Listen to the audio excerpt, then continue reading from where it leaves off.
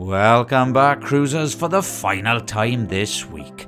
Great to have you on board for our daily cruise news updates. Today we've got four stories lined up as Private Carnival Destination is prime for expansion.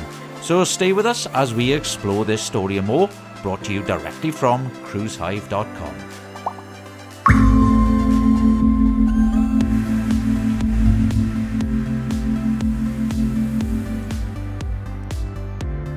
The Royal Caribbean Group, encompassing Royal Caribbean International Celebrity Cruises and Silversea Cruises, is witnessing an unprecedented surge in cruise bookings during this year's wave season.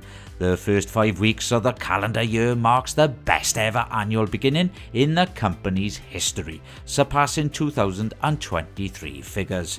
With robust demand exceeding expectations, the debut of Icon of the Seas, the world's largest cruise ship, and enhancements to Perfect Day at CocoCay contribute to the heightened interest. As a result, the 2024 investor guidance has been revised, indicating a strong financial recovery and positive outlook for Royal Caribbean's future.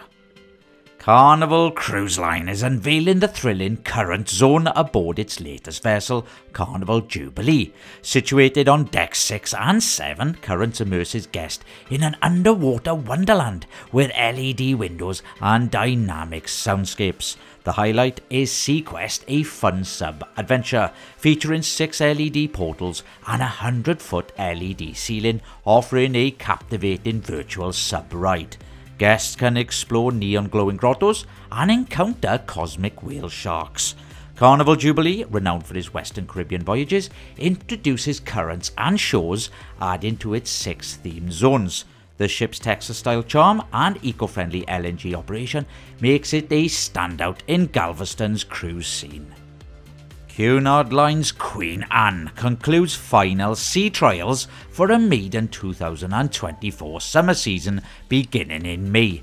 After rigorous testing in February, spanning 16 days from Fincantieri shipyard in Venice to dry dock in Palermo, Italy, the vessel is poised for delivery in April. With a capacity for 3,000 passengers, Queen Anne will embark on a maiden voyage to Lisbon, followed by summer expeditions to the Canary Islands, Norwegian fjords, Mediterranean, British Isles, and Northern Europe.